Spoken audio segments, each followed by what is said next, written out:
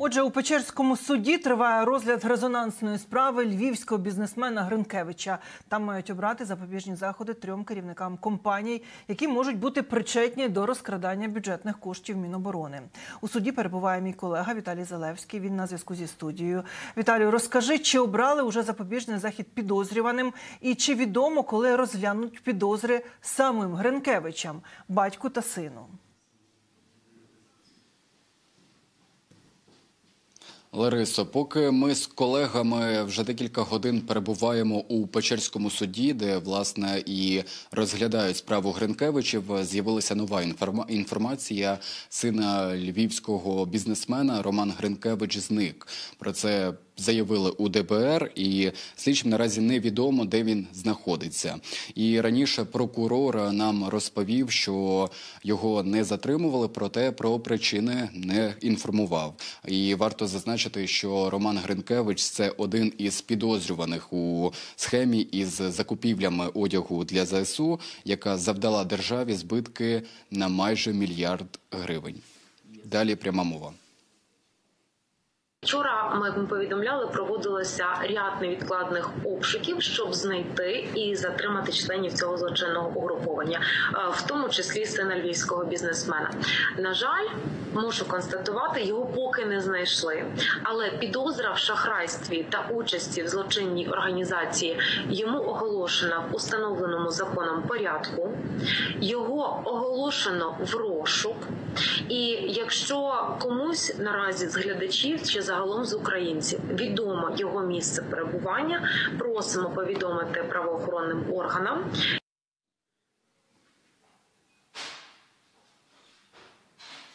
Також напередодні ДБР повідомила про підозру львівському бізнесмену, одному з найбільших постачальників Міністерства оборони України та іншим членам злочинного угрупування. Е, І він уклав договори з Міністерством оборони України на постачання неякісного військового одягу. Е, І повертаючись до судового засідання, е, всі три підозри керівникам компанії, фактично спільникам Ігоря е, Гринкевича, проходять у закритому форматі. Власне, про це клопотали і адвокати сторони захисту. І адвокати просять, е, поки невідомо який запобіжний захід, адвокати просять е, відправити їх під домашній арешт, а прокурори просять тримання під вартою. Далі коментар прокурора. Відносно Гринкевичів сьогодні запобіжний захід розглядатись не буде. У даному кримінальному провадженні є три, є три затриманих, відносно яких подано клопотання про обрання запобіжного заходу. Тому тільки відносно них буде сьогодні розглядати слідчим суддею можливість обрання запобіжного заходу. Гринкевичів у даних у даному списку немає.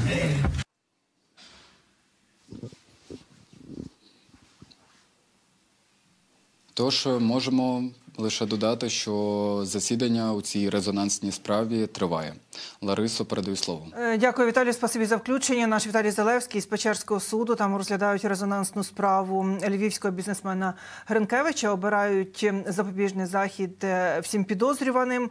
Е, Новина така, що сьогодні Гринкевичам запобіжний захід обирати не будуть, і що син Гринкевича старшого зник і його зараз розшукують. Отже, в окупанта мінус радіолокаційна система зоопарк та станція РЕБ на Таврійському напрямку. Про це повідомляє командувач Тарнавський. Натомість росіяни б'ють з авіації. Також у ворога значно поменшало бронетехніки. Загарбники втратили більше 40 одиниць, серед них 17 танків. Москолота не припиняє авіаударів. Щодобова кількість не опускається нижче 20. Е, Вчора ворог завдав 41 удару. Загальні втрати російських окупантів становили 385 осіб та 57 одиниць військової техніки. Загалом на Таврійському напрямку загинули понад 385 окупантів. ЗСУ спопилили понад 50 одиниць ворожої спецтехніки. Три склади боєприпасів супротивника також злетіли у повітря. Українські дрони вибухнули на нафтобазі в Санкт-Петербурзі. Про це повідомляє видання Українська Правда з посиланням на головне управління розвідки. За даними джерел, атака безпілотників цієї ночі це спецоперація нашого ГУР. Продовжують збирати дані, але вже є підтверджені влучання по цілях. На уточнювальне запитання від журналістів, чи це перша така атака, у розвідці відповіли не перша, але є відмінності, і ворог їх відчув. Це була цитата. І додали відтепер військові об'єкти Пітера та Ленінградської області у зоні досяжності українських сил. За даними російських змі, Петербурзький нафтовий термінал є найбільшим російським терміналом з перевалки нафтопродуктів у Балтійському регіоні.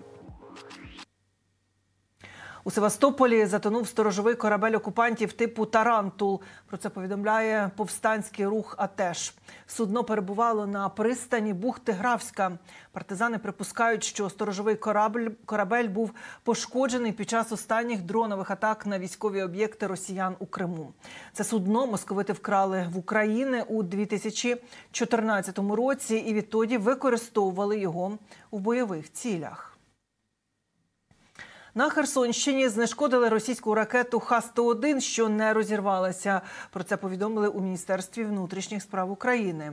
Пишуть, ворожу ракету виявили в полі. Її уламки розкидало, а бойова частина, що важить понад 4 сотні кілограмів, залишилася неушкодженою.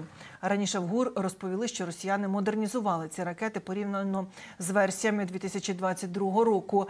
Тепер вони мають системи радіоелектронної боротьби та теплові пастки. Так, увага. Вогонь!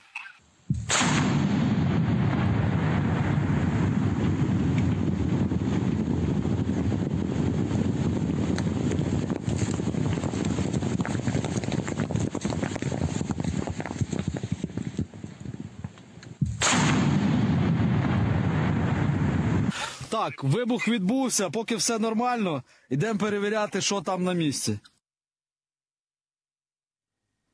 Це місто залишилося майже без вікон. У Кураховому, що на Донеччині, досі живуть трохи більше п'яти тисяч мешканців.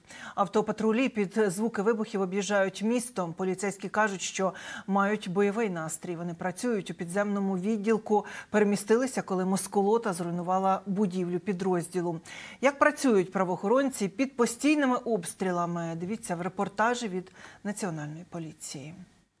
Проживаю на квартирі в Курахах, съемна квартира. Прописан в Красноруке. Дом в Красноруке остався. Еще пока цілий, ну вже два рази прилітало. Сім'я в Дніпропетровській області, місце Кам'янське. Все хорошо. Донку нравится Кам'янське. Хлопчику 6 років. Пошел в школу. Сумуєте? Ну, конечно, суммую. И он за мной суммует. Считает дни, когда батька приедет. Техника ломается. Такие вот броньовані машини не видержують. Ну що, ремонтуємо. Все буде гарно. А так живемо. От є мука, хлібопіч є. Ну, едим, готуємо, работаем. Все здесь.